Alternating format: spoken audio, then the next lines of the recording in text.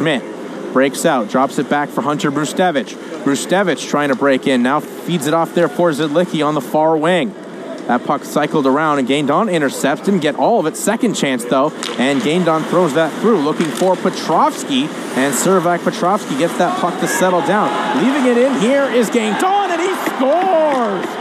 No doubt about that one. Cédrick Guindon.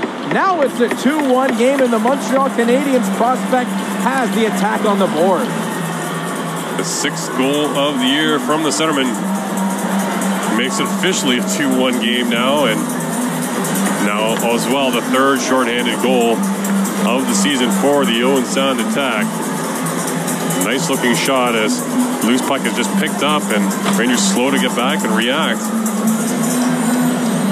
You see it just hovering around the high slot and he just wanted it more.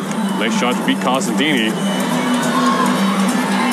Well, there you go. There is the third shorthanded goal of the season for Owen Sound. Just gets it for a second chance. Denny Gore trying to break in. Gore gets knocked off the puck by the Rangers, and here comes Tomas Hamara. Hamara finds Serpa. Serpa tries to give it in down low, but that got caught up in the skates there. Chance for Mešár, he scores on the one-timer power play goal. Filip Mešár, 3-1 Kitchener against Saginaw the first time since joining the Rangers. Mešár is with Machar. Able to grab that pass just slam it home.